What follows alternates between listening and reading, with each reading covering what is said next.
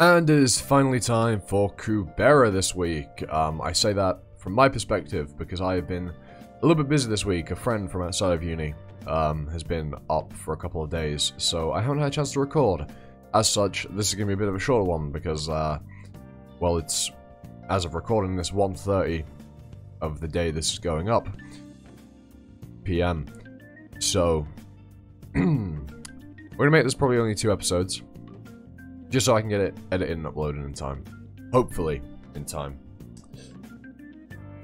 I really should have planned ahead, but I also didn't know he was turning up until, well, the, the, the day he did. So, yeah, there's that. Anyway, let's go. Mom? Hmm? Is this... Ah, it's the Magic Union, but why is it so quiet? I guess the magicians couldn't just stand by and watch all those halves tear the place up. I wouldn't be of any help even if I went out there. Damn it. Why am I so afraid of halves? When I could beat them with my power. Oh no. The halves made it this far. What should I do? Should I run away? Where? Why isn't there anyone here? Someone, please come out and help me! Who's Braham? Bavadi Braham. If you can't even kill a single Impani, then what good are you, little brother?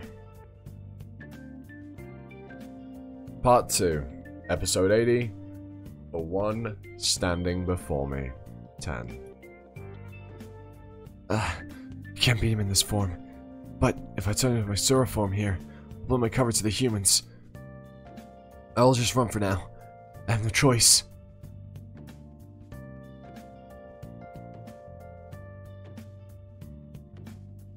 The Earth Barrier turned on a minute ago. Are there any Sura left? I don't think so, but we'll have a look around a bit more. I can't imagine how much it'll cost to restore the city here. At least we can always just go back to Eloth. I'm telling you, I really can kill an Impani. I just thought that was a half back there. Some things never change. What do you mean? I told you! I can't kill them, just trust me! Ah, sorry, you found your brother. I'm relieved to see that he's safe. Thank you. I'm happy to see my brother safe, too. Why don't you listen to me if you're so happy? How did you know you, where your brother was? Ah, I know the magician who was with him for his guardian for his graduation quest. I saw some magic that would, only that magician could have used, so I went to check it out, and here he was. Wait, you mean? There you are, Lute Sairoffe. Ah, you made it back.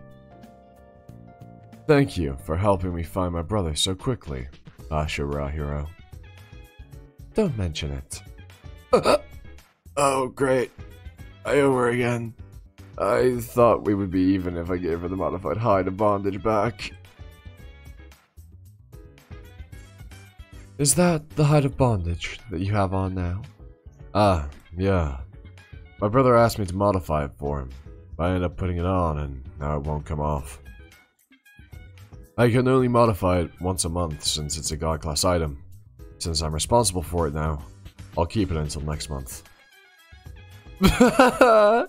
Looks like sometimes even a monkey falls off a tree. I'm pre screwed up a modification. So you can't shower for a month. Looks like all those girls who are following you around are just gonna run off. it stuck to my clothes, not my body, little brother. Lute Sairoffe, Quarter, 45 years old. Older brother of Ran Sairoffe, head of the creation brand Atrum, priest of Eloth, creation. Magic rank A, ranked 22nd place. His ranking is lower than his actual abilities because he failed to comply with the requirements of the magic test.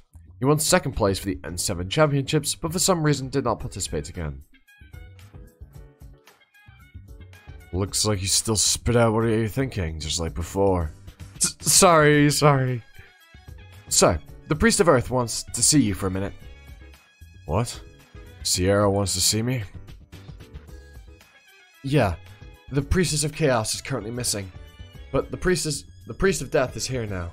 So I think she wants to speak with you together about the situation. Alright, of course I'll go. Asha, please. See you later. See you. Ah, what about me, brother?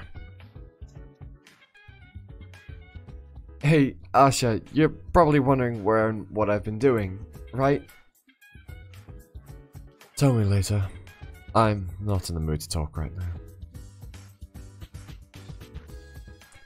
Alright, all finished! How the heck did you all hurt your head at the same time? Look, we need to talk, guys. Are you guys all purposely giving me the silent treatment? Hmm, this is a good Sagara. Could you please tell me what's going on? It's driving me nuts. Ah, why are you all being like this too, Sagara, huh? Stop it, Hera. Everyone's so stunned by that sudden attack. We almost died. That's why... That half-dragon from Atera just showed up. Wow, no way. I can't believe he flew halfway across the planet that quickly. He was probably wandering around, using the Crescent Gate without really thinking about it. He'll have to really get hurt. Once to smarten up. Still, it's a good thing we managed to get what we were after, at least. It wasn't a waste of time, right? I guess so. But what were you doing, Marina? I saw that the sky turned red before. I just fought against the humans since they provoked me. That's a lie. So in the end... So in the end, you didn't do anything, Marina. You just stood by and watched when Gandharva and Agni fought too, didn't you? Although, I guess not even a powerful Rakshasa could get involved in a fight like that. Do you know what happened to Gandharva? No, I don't. Look at her face, man. Look at her. Lying as easily as she breathes. We headed for the city as soon as Agni disappeared. Why? Is there a problem? He's gone without a trace! Really? I think I, it doesn't get much more pathetic than that. Did he go dig a hole to crawl into? Do you know why Gandharva turned into Asura? I'm not sure. If he, if I knew how he did it, I would have done it too. I'm asking about the reason, not how. I don't know. How am I supposed to understand the mind of a self-set-dialed pacifist? Anyway, we've taken care of everything, so let's head back. There were a few unexpected variables, but at least we got what we came for. Now we can finally end this fight with one strike before it keeps dragging on. So hang in there, everyone. Just wait, Ananta. No matter how much more blood needs to be spilled on this path, in the end, you will be the one laughing. Chapter 22. The one standing before me. End. Next chapter. The good. Hmm. It's been 10 minutes, but I don't really feel good about only doing one episode. But... Uh, you know what? I'm sorry it's a short one. But again, uh, it's my own fault for not um, having stuff recorded earlier and leaving it this late. But we are going to end this here. Um, we will get back to, obviously, you know, more episodes next week. Assuming no more, you know, out of nowhere plans appear. Um, but I don't think they will, because um, I have exams starting next week. So, I won't be doing jack shit. But anyway, uh, I hope you enjoyed. Um, as always, I've been Animosity, you've been you, and I hope to catch you all next time for another video. Ta-ta. Bye now.